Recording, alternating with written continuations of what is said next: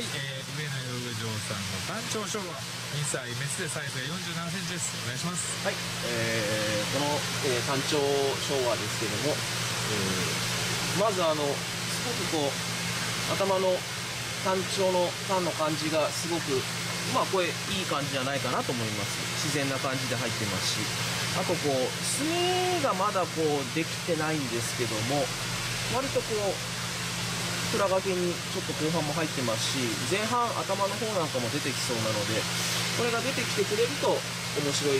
品評会とかにも魅力のある声になるんじゃない。のかなとい。う気がしますはい。それでは横の方もお願い。しますはい。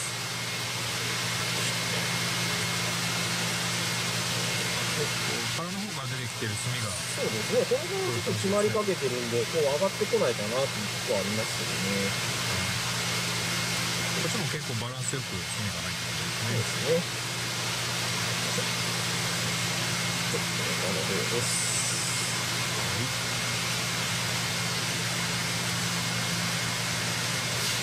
これも、えー親鯉なんかはどれぐらいかね。サイズが9 0センチぐらいあって白地のすごくいい鯉で昔こう尾形さん尾形健一さんがこうノミネートに上がったりした鯉の兄弟鯉ですかね親鯉なんかだから非常にこう親なんかも面白い鯉なんですよね。はい。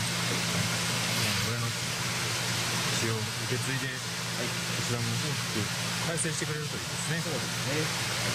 はい。いかがでしょうか？えこちら上野遊女さんが単調昭和2歳メスでサイズが4 7センチですぜひよろしくお願いします、よろしくお願いします